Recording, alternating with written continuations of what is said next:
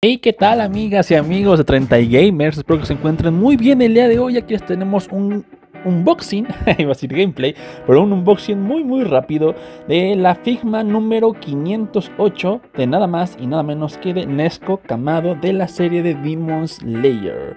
Eh, obviamente, déjenme decirles que la verdad yo no soy muy fan de, las Figmas en general. Siento que para costo-beneficio preferiría yo, por lo menos yo, una Figuart Zero o un Android dado caso. Pero como soy muy fan de Demon Slayer y también de Nesco en especial, eh, pues esta Figma me hizo ojitos y es por eso que decidí comprarla. Eh, igual solamente les comento de que esta es una edición normal, hay una edición especial se podrá decir que trae la caja con la que este Tanjiro la va transportando, además de otro par de como de ropa para que tú la puedas poner de manera como si estuviera hincada. Entonces, ah, y también otra cara. Fuera de eso, son las únicas diferencias que trae la, figura.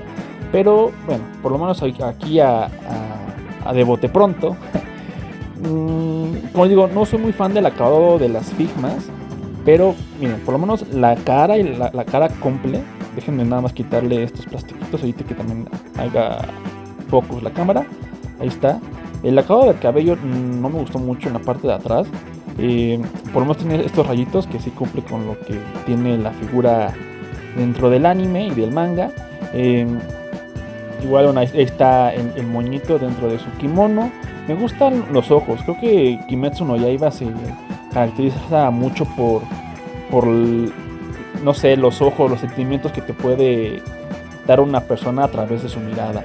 Entonces, bueno, también para ver qué es lo que más trae, es su mirada ahí enojada. Y como les digo, como estos cambios de, su ropa, de su kimono, para que tú la puedas poner en otras posiciones como dando una patada. Eh, no, ya las clásicas cambios de mano. Em, aquí para que vean como si me estuviera, estuviera mordiendo ahí el bambú. Pero bueno, vamos a ir acomodando todo y ahorita regresamos. Bueno, ahora sí, digamos que esta figura me gustó más como, como viene, de manera ya natural, sin el cambio de la cabeza. Eh, simplemente porque como que se me hace que Nesco, por lo menos en esta etapa, transformación por así decirlo, se me hace más kawaii, más linda de esta manera. Eh, es una figura que vale la pena, ya es un relanzamiento, pero todavía es conseguible en la página de Amiami. Si ustedes no saben cómo comprar o conseguir cosas de Amiami, el buen Feanaro consiguió, bueno, hizo un video ahí de como un tutorial de sobre cómo comprar en Amiami créanme que es bastante sencillo y además de que ahí les está preparando otro tipo de videos. Em, igual solamente el acabado de las manos no soy muy fan como de sus uñas pero bueno digamos que la figura cumple a secas.